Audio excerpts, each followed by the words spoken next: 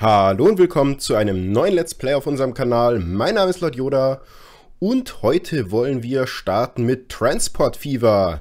Ja, Transport Fever brandaktuell. Äh, das ist eine Preview-Version. Äh, mit anderen Worten wurde mir freundlicherweise schon vor dem offiziellen Release zur Verfügung gestellt von Urban Games. Vielen Dank an dieser Stelle. Das Spiel erscheint äh, am 8. November. Ähm, kann zum Beispiel auf Steam erworben werden, gerade zum reduzierten Preis von 23,99. Äh, 25% äh, reduziert, noch vor dem 8. November, wenn man sich's holt. Ähm, danach kostet es äh, 32 Euro, was auch noch okay ist. Ähm, ja, das, äh, wie der Name schon sagt, Transport Fever ist der Nachfolger von Train Fever was ja das Erstlingswerk von Urban Games war, ähm, wurde damals ja über äh, nicht Kickstarter, sondern eine andere äh, Crowdfunding mehr oder weniger Plattform finanziert, war recht erfolgreich und darum gibt es jetzt einen Nachfolger, ähm, der, ja, den wir uns jetzt anschauen wollen. Ähm, gleich vorneweg, äh, es gibt mittlerweile ein Tutorial, wo man äh, die Stadt braucht dich. Ja, ähm, im Prinzip die Grundlagen, den Passagiertransport und den Gütertransport erlernt. Ähm, das ist sozusagen neu. Und was ich persönlich ganz toll finde, ist eine Kampagne, Achtung, auch wieder Text. Ähm, und zwar einmal in Amerika und einmal in Europa. Jeweils mit sieben Missionen. Ich gehe hier wieder raus, weil sonst wird die ganze Zeit geredet. Äh, und das äh, was ich am tollsten an diesen Kampagnen finde, ist, äh, sie können gemoddet werden. Mit anderen Worten, ähm, hier, Steam Ga Workshop. Äh, wenn ihr begnadete Modder seid und sagt, ihr wollt eine ähm, ja, äh, Kampagne erstellen, wo man äh, sonst was machen muss, dann könnt ihr das jetzt und äh, ich kann es spielen. Das ist super, oder? Ja, finde ich auch. Ähm, mit anderen Worten, ich denke, da werden viele neue Kampagnen im Laufe der Zeit hinzukommen. Ähm, und sowas finde ich immer toll. Ähm, das freie Spiel gibt es natürlich auch. Ähm, das ist das, was wir auch machen werden. Ähm, eventuell werden wir mal in eine Kampagne reinstarten. Ähm, könnt ihr mir mal kommentieren, ähm, ob ihr lieber Europa oder Amerika sehen wollen würdet, ob euch überhaupt Kampagnen interessieren. Äh, ja, einfach mal gerne Kommentar dazu da lassen. Aber wie gesagt, wir starten mit einem freien Spiel, wo wir uns dann auch anschauen werden, was alles neu, was alles äh, drin ist und so weiter und so fort. Wie gesagt, das Ganze ist eine Preview-Version. Ähm, mit anderen Worten, es sind noch zwei Wochen, fast zwei Wochen bis zum offiziellen Release des Spiels. Ähm, dementsprechend kann sich noch einiges ändern, wenn irgendwie was nicht so ganz toll funktioniert. Das immer im Hinterkopf halten. Ähm, ich würde sagen, wir spielen eine große Ka Karte, mittlerweile 256 Quadratkilometer. Äh, Landschaftstyp Mittel, Startjahr 1850, ist okay, dann sehen wir alles. Äh, Schwierigkeit einfach, aus dem einfachen Grund, ähm, ja, äh, Let's Play, ich möchte äh, vielleicht auch unsinnige Sachen bauen ähm, und nicht unbedingt jetzt gerade gut darauf achten, dass wir Sinnvolles und nur das Effizienteste und was weiß ich. Würden wir sicher hinkriegen, aber nö. Ähm, Szenario können wir auswählen, ob wir Mischwaldvegetation und europäische Fahrzeuge oder Waldsteppenvegetation und amerikanische Fahrzeuge oder Custom. Ich würde sagen, wir spielen diesmal mit Europa. Im letzten Mal oder bei Train Fever hatten wir ja mit äh, nordischen Sachen gespielt. Wir bleiben diesmal in Europa. Und als Zufallsgenerator nehmen wir Mighty Pirates. Dann könnt ihr vielleicht, äh, wenn ihr dasselbe dann auch eingebt, vielleicht dieselbe Map bekommen. Ich bin mir gar nicht sicher. Genau, Weltformat kann man auch noch äh, einstellen, ob man das, wie man das Seitenverhältnis haben möchte. Also ob die Karte breiter als äh, lang sein soll. Ich würde sagen, wir lassen das jetzt mal auf 1 zu 1. Oder wollen wir eine breitere Karte? Ach nee, wir, wir lassen sie quadratisch. Genau, flach finde ich ein bisschen langweilig. Hügelig ist dann auch irgendwie blöd. Ich denke, Mittel ist genau schön. Also, los geht's. Dann lassen wir den Zufallsgenerator uns mal eine wunderschöne Map generieren.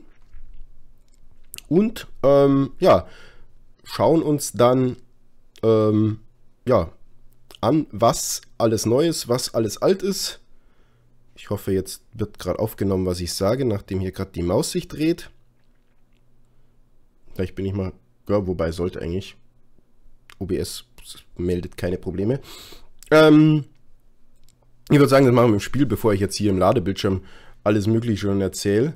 Ähm, große Karte habe ich aber bewusst gewählt, ähm, einfach damit so ein paar Sachen ja ein bisschen mehr Sinn ergeben. Ja, wenn jetzt das Ganze mal fertig geladen wäre, könnten wir dann auch direkt ins Spiel steigen. Ah, macht doch noch mal was. Ja, Ladebildschirm leider etwas länger, aber ich habe äh, vorher mal eine Runde Civilization gespielt. da dauert es noch länger. Von daher kann man eigentlich gar nicht meckern. So. Ja, ähm, Ladebildschirme finde ich recht schön, sind unterschiedliche ähm, und die Texte sind eigentlich auch immer ganz passend zu dem, was da steht. Also, ha, fertig geladen, wunderbar. Jetzt müssen wir nur noch warten, bis die Map auch aufgebaut wurde. Und da sind wir da, wunderbar. In unserer tollen neuen Karte. Ich lade sie einmal kurz, indem ich mehr oder weniger alles anzeige. Und wir können es uns mal kurz anschauen. Also, wir haben hier einen schönen großen Fluss, der einmal von links unten nach mehr oder weniger rechts oben geht. Wir haben ein paar Städte auch schön direkt hier am Wasser. Ähm, und wenn man sich die Karte anschaut, sie ist deutlich größer im Verhältnis als in Train Fever. Was auch ganz praktisch ist, weil wenn wir hier unten schauen, sehen wir direkt neue Sachen. Zum Beispiel einmal Schiff und Flugzeug. Ja, wir können mittlerweile Flugzeuge bauen und auch Schiffe. Und für Flugzeuge ähm, fände ich es jetzt etwas unsinnig, wenn die Karte so groß ist und wir sagen, ja, wir verbinden die zwei Städte. Darum wollte ich jetzt hier eine große Karte, damit wir sinnvoll mit Flugzeugen dann irgendwann mal von ganz links unten nach ganz rechts oben fliegen können und diese vollen, was weiß ich, wie viele, 60 Kilometer oder 50, 40 Kilometer ausnutzen. Ähm, was man auch auf den ersten Blick direkt sieht, ist, es gibt deutlich mehr Industrien, beziehungsweise Produkte, und äh, die Städte brauchen jetzt auch mehr als nur Waren. In anderen Worten, Arbeitsplätze brauchen Baumaterial, Maschine, Treibstoff und Einkaufsmöglichkeiten, Werkzeuge, Lebensmittel und Waren. Und dann sieht man auch, wie gut das Ganze versorgt wird. Und zusätzlich braucht die Bevölkerung eben Trans Personentransport. Ähm, wenn wir jetzt hier mal in so eine Produktion reingucken, also das erzeugt Kunststoff, der wird hergestellt aus Öl oder Getreide. Und äh, ja, das ist also schon deutlich mehr. Oder hier oben, sind wir hier, Bretter, Stahl, da kommt dann Werkzeuge raus. Oder wenn man lieber Bretter und, äh, wie rum? Kunststoff und Stahl oder Bretter und Stahl bin mir nicht ganz sicher. Maschinen. Ich glaube, das ist oder und das ist, was reinkommen muss. Da weiß ich auch noch nicht so genau. Das, das finden wir gemeinsam raus. Ja, und so weiter und so fort. Also deutlich viel mehr Produktionsketten. Mit anderen Worten, ach, man kann was tun. So, ich würde sagen, wir starten aber mit einem ganz normalen Personentransport. Dafür suchen wir uns mal eine schöne Stadt. Ähm, irgendwas, was ein bisschen ja, größer ist, wo man mehr als drei Sachen... Vielleicht hier oben Mannstedt. Das sieht doch eigentlich ganz nett aus, dass wir da hier gleich mal eine Buslinie bauen können. Gut, dass die Zeit schon läuft, das habe ich gar nicht gemerkt. Also, Straße. Wir wollen eine Bushaltestelle. Mittlerweile sieht man hier auch weiß eingezeichnet, was die abdeckt. Also muss nicht mehr raten, sondern man kriegt jetzt hier wirklich schön angezeigt, okay, pass auf, wenn du die Buslinie hier hinbaust, dann sind die Leute abgedeckt und gehen dahin. Also im Prinzip, das ist die ähm, Entfernung, in der die Bewohner bereit sind zu gehen. Bedeutet nicht, dass sie es auch tun, sondern bedeutet nur, dass sie es theoretisch wären, wenn sie äh, dahin wollen. Gut. Ähm, ja, die Stadt ist, wie gesagt, noch nicht so groß. Mit anderen Worten, ähm, wir können hier mit zwei Bushaltestellen mehr oder weniger alles abdecken. Drum würde ich sagen, bauen wir mal eine hier hin. Was haben wir jetzt hier alles? Ja, yeah, wir haben eine Bushaltestelle. Dann eine hier hin. Und dann, weil wir lustig sind, bauen wir noch eine hier hin, auch wenn es jetzt in dem Fall fast übertrieben ist. Bauen jetzt hier noch ein Straßenfahrzeugdepot, das bauen wir dahin. Und dann kaufen wir uns hier so eine Postkutsche. Genau. Vielleicht zwei Stück. Weisen die einer neuen Linie zu, die wir hier direkt erstellen können. Einmal hier hin, dahin, dahin und gut ist. Dann fahren die auch schon los.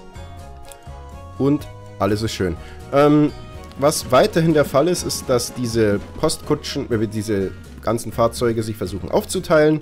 Das war ja schon im Vorgänger so und das finde ich weiterhin eine super tolle Idee. Dass man nicht irgendwie die ständig hinterher, hintereinander hat und dann lange nichts ist. Dauert natürlich ein bisschen, bis sie sich verteilt haben, aber ja. Rum wohl auch nicht an einem Tag erbaut oder so ähnlich. Weiß nicht ganz, was das zu tun hat damit. Ich würde sagen, hier ist doch... Wir können hier mal unten übrigens auf Höhenlinien gucken. Damit wir sehen, wie dies hier denn so aussieht. Ah, hier geht es so ein bisschen runter nach, nach Wesel. Ich wollte nämlich jetzt gerade vorschlagen, dass wir hier mal nach Wesel vielleicht eine Bahnlinie bauen. Aber nachdem es hier eher flach ist, würde ich vorschlagen, dass wir dann doch Janishausen erstmal nehmen. Ähm, ja, das klingt vielleicht nicht schlecht. Geht's hier hinten? Ja, hier hinten geht es noch weiter. Dann werden wir vielleicht den Bahnhof ein bisschen außerhalb hinbauen. Hier irgendwo. Also fangen wir mal an, Bahnhof. Hier sieht man auch schon direkt, es gibt mittlerweile den Unterschied zwischen Kopfbahnhof, wo man dann auch die Anzahl der Gleise festlegen kann. Ich nehme mal jetzt mal einen großen. Und kann... Eine zweite Straße macht hier jetzt keinen Sinn. Äh, bei einem normalen Bahnhof nicht nur einen Straßenanschluss haben, sondern auf beiden Seiten. Mit anderen Worten, also hier einmal, wo das Gebäude ist und einmal auf der anderen Seite, wo äh, auch Leute rausgehen können. Ähm, Finde ich super. Oft war es ja so dieses, ja, jetzt muss ich einmal außenrum zum Bahnhof zu kommen. Hm. Aber gerade können wir, glaube ich, anfangen mit irgendwie so einem Zweier und äh, irgendwie sowas. Brauchen auch keine zweite Straßenverbindung. Ist dann alles günstiger. Und den setzen wir einfach mal...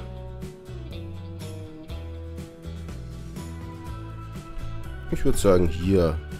Hier so hin. Genau.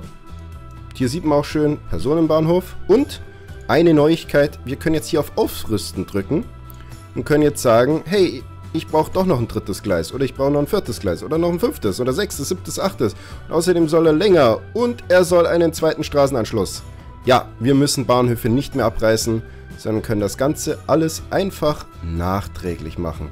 Ist das nicht toll? Finde ich auch. So, ähm, verbunden wollen wir das Ganze natürlich mit der Stadt hier. Ist die Frage, wohin? In der Richtung müssen wir jetzt nicht weiter. Das heißt, hier könnten wir mal einen Kopfbahnhof bauen. Eh, ne, hier hin. Da bauen wir doch mal einen Kopfbahnhof. Auch zwei. Und der kommt... Äh,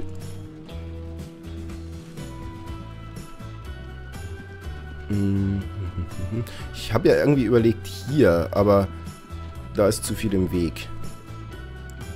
Drum bauen wir den... Oh Gott, wie kommen wir denn... Kommen wir da mit den Schienen gut durch? Ich glaube schon.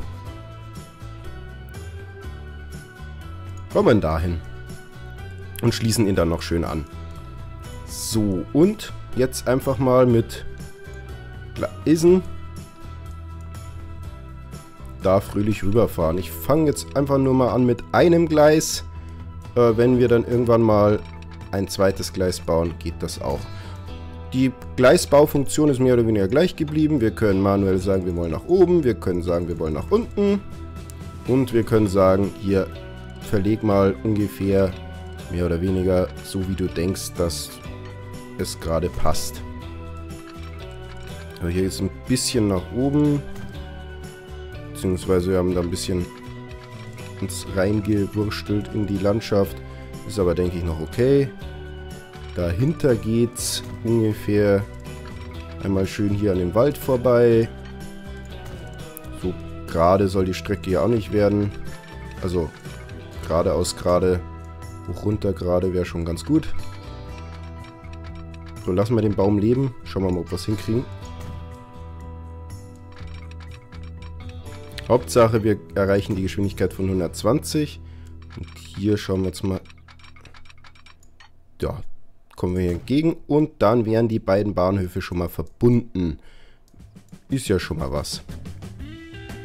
So, ja, die sind natürlich noch nicht ans Straßennetz angeschlossen. Das machen wir einfach mit einer kleinen Straße. Einfach irgendwie so, genau. Und sollten hier noch eine Bushaltestelle bauen für Passagiere. Äh. Hm. Wir könnten hier direkt ein bisschen was Größeres bauen. Bauen wir direkt was Größeres. Hier. So. Und, äh... Moment. Ding, ding, ding. Hm. Ich suche gerade die Kombinationsmöglichkeit. Die gibt es wahrscheinlich. Bin mir gerade gar nicht sicher, ob sie noch gibt. Ich sehe sie zumindest nicht. Ja, dann kombinieren wir halt nicht. Das ist auch nicht so schlimm. So, und dann müssen wir hier natürlich noch verbinden. Auch mit einer Straße. Machen wir erst einmal hier geradeaus und dann noch hier geradeaus. Und hier bauen wir auch einen Busbahnhof.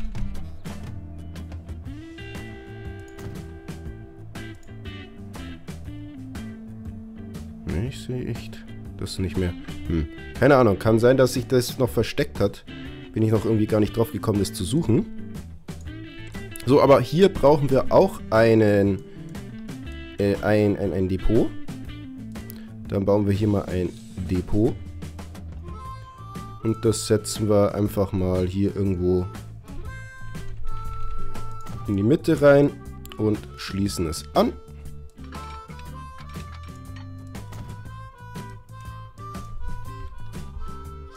Dann holen wir uns mal einen Zug. Boah, Lokomotiven haben wir noch nicht so viel Auswahl. Und dann hängen wir da zwei Wägen an und weisen das einer neuen Linie zu, die von da nach da fahren soll. So, dann machen wir die Height Maps mal wieder aus. Gut, dann fährt unser erster Zug. Eh, aber der ist natürlich jetzt noch nicht so sinnvoll, weil die ganzen Bürste und sonst was Linien fahren dann nicht vorbei.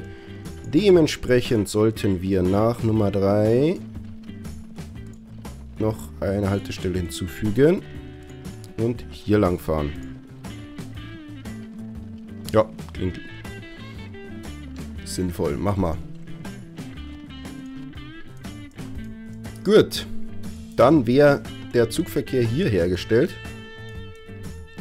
Dann machen wir das Ganze auch in Janishausen. Bisschen anders vielleicht. Da bauen wir dann direkt hin und zurück. Und hier hinten nochmal.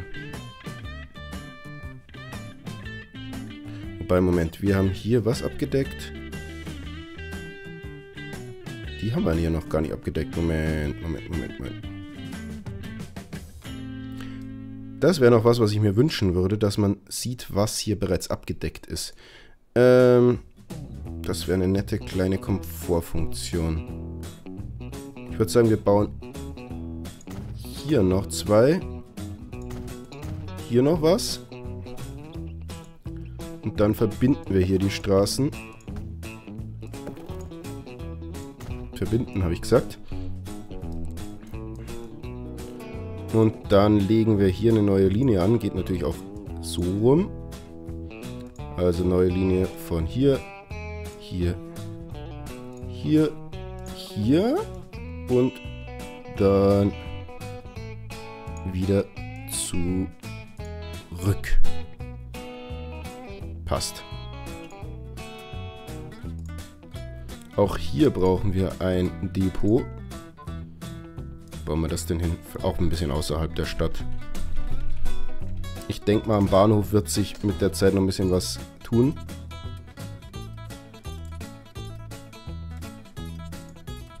Drum habe ich erstmal davon abgesehen, das direkt hier neben dem Bahnhof zu bauen.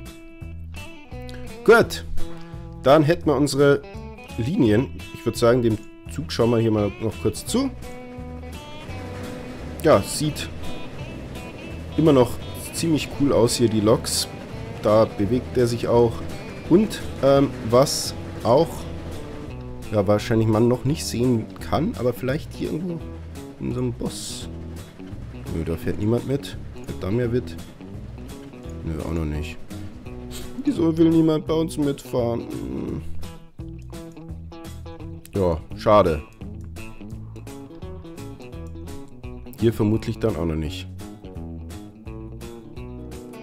Hätte vielleicht hier in der Mitte der Stadt noch eine Haltestelle bauen können, sollen müssen. Wäre vielleicht keine schlechte Idee. Machen wir doch mal, oder? Einmal hier und einmal da. Auch wenn es nicht unbedingt sein muss, aber die Länge, die sie dann gehen müssen, ist nicht so lang. Also nach zwei... Zwei, drei, passt. Und nach sechs dahin. Klingt gut.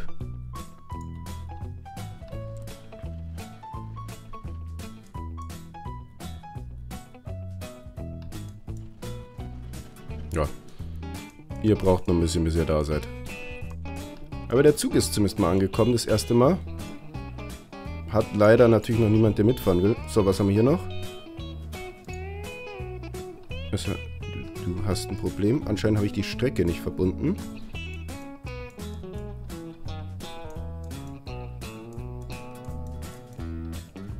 Äh. Oder nicht? Linie 2. Ah, ich habe Janishausen Ost ausgewählt. Das funktioniert natürlich nicht. Da sollte ich vielleicht das hier auswählen. Das macht vielleicht etwas mehr Sinn. Gut. Ja, hier, äh, Infos und Nachrichten bzw. Warnungen sind jetzt auch sehr schön hier mit voneinander getrennt. Also hier zum Beispiel kann ich mir hier die Züge ausblenden, hier.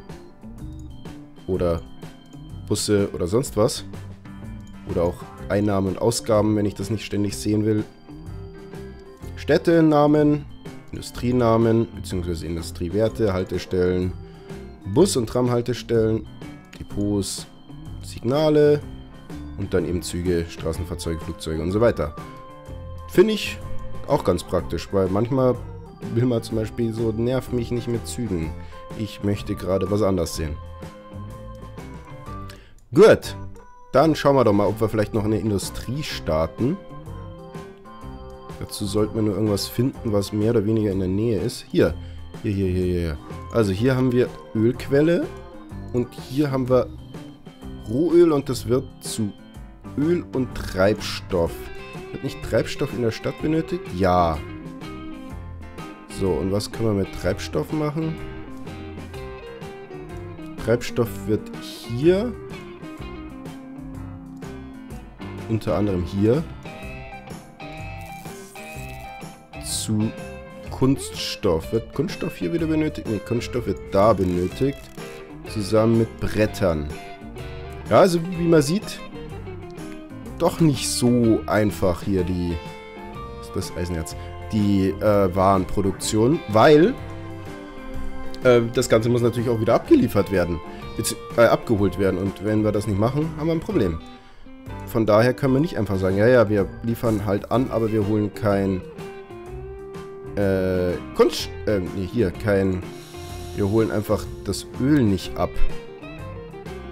Das müssen wir dann schon auch abholen.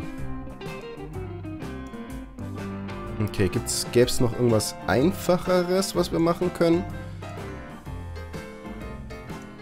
Sei es hier Bretter zu äh, Holz zu Bretter. Hm. Vielleicht Lebensmittel. Wie sieht es denn hier aus bei Lebensmittel? Was ist das denn? Ah, das ist einfach Waren. Ja, Lebensmittel. Getreide und Vieh oder Vieh zu Lebensmittel. Das sieht doch nicht schlecht aus. Da müssen wir jetzt nur noch irgendwas suchen, was halbwegs in der Nähe ist und überhaupt dann sowieso. Dafür können wir mal auf... Äh, wo war's?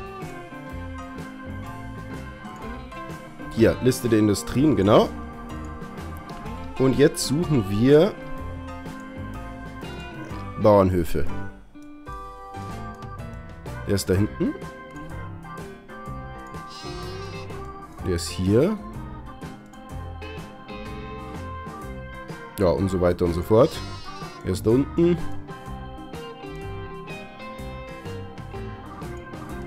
Da ist noch einer.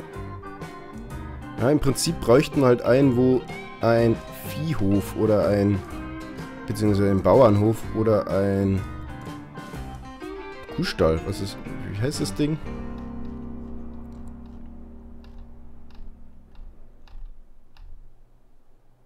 Hier ein Bauernhof in der Nähe ist. Also hier wäre ein Bauernhof, aber dafür nichts anderes. Hm. Okay. Suchspiel. Wahrscheinlich habt ihr schon 15.000 tolle Sachen gefunden, die ich nicht sehe.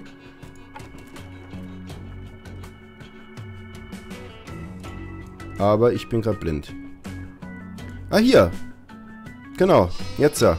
Getreidehof, Vieh und Getreide hierhin, na, es stellt Lebensmittel. Und die Lebensmittel können wir dann weiter liefern nach, ja, ich würde sagen in dem Fall Geldersheim. Die brauchen ja Lebensmittel. Okay. Dann machen wir das, würde ich sagen, hier per Straße. Und hm, wenn wir das jetzt bauen, bauen wir eine Abkürzung. Das ist eigentlich nicht gut. Aber hier einmal außen rum ist doch auch blöd. Hm, hm, hm,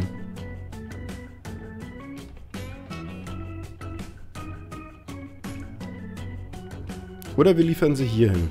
Wir liefern sie da, dann müssen wir keine Straßen bauen. Okay, so machen wir es. Also, diesmal bauen wir ein Warenterminal. Mit einer LKW-Station. Da geht natürlich keine Haltestelle. Wir nur noch schauen. Also hier sieht man, wann es, äh, solange es hell ist sozusagen, wäre man nah genug dran. Ich finde trotzdem, es sollte so nah ran, dass man was sieht. Da hier rüber. Da ist, glaube ich, gerade Autosave, genau. Eine große. Machen wir direkt eine große. Hierfür. Die wir dahin bauen.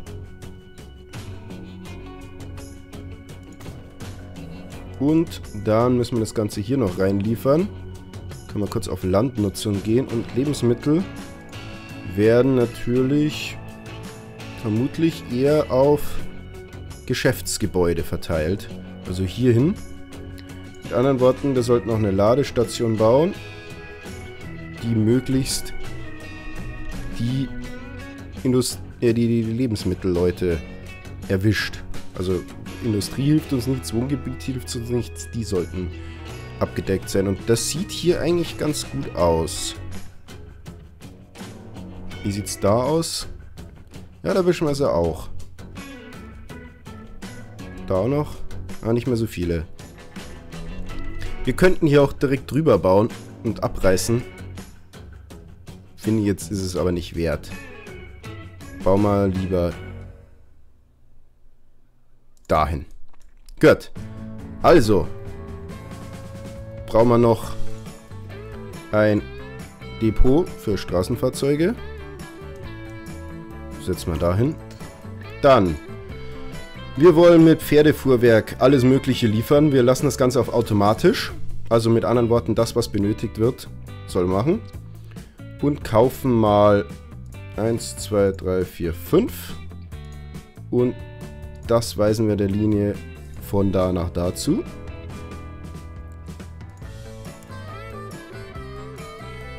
Und dann als nächstes... Äh, nee. Ich will nicht. Das, der Wert ist, äh, das, die Strecke ist ein bisschen länger. Machen wir 1, 2, 3, 4, 5, 6. Und weisen sie wieder einer neuen Linie zu. Diesmal von hier nach da. Theoretisch könnten wir wahrscheinlich alles mit einem machen. Aber ja, wir machen das jetzt mal auf zwei Linien. So. Hier wird noch nichts produziert. Dauert wahrscheinlich noch ein bisschen. Lassen wir mal kurz die Zeit ein bisschen vorlaufen. Die Pferdekutschen machen sich auf den Weg. Ah, und jetzt geht die Produktion los. Und da sieht man jetzt auch was Neues. Und zwar... Ja gut, in dem Fall stapeln sich hier. Hier, das ist jetzt wirklich ein Lager. Also man sieht hier, wie ähm, ja, Vieh und Getreide hier gelagert wird. Und wenn das Lager voll ist, ist das Lager voll. Und dann arbeitet er nicht mehr.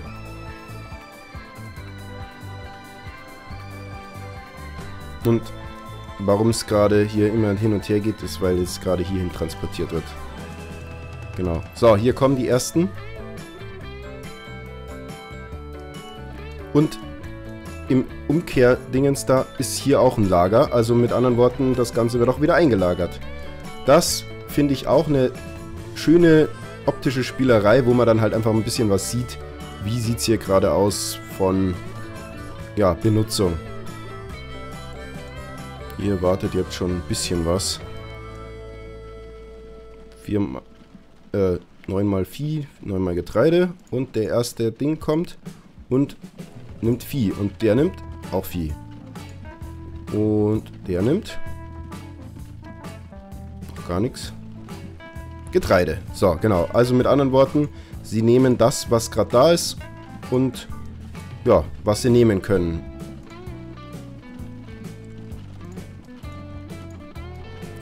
Und wie gesagt, die produzieren eben alles. Dementsprechend äh, muss im Lager, ja, im Lager halt alles abtransportiert werden, sonst produziert er gar nichts mehr.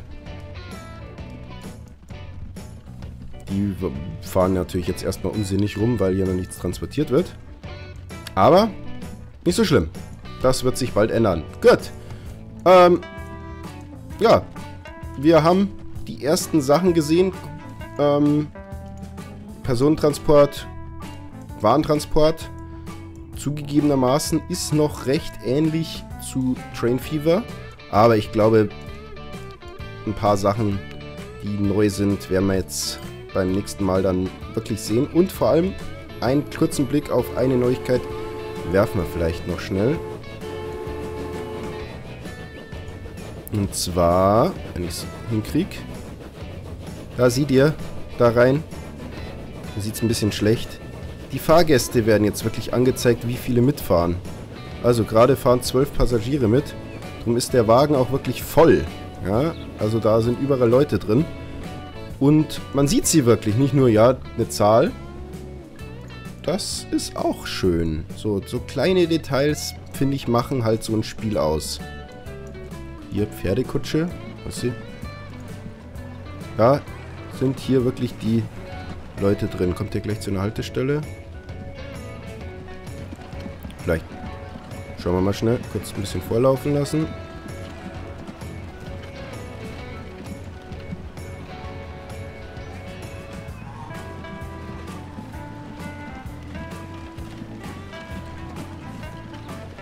So, und jetzt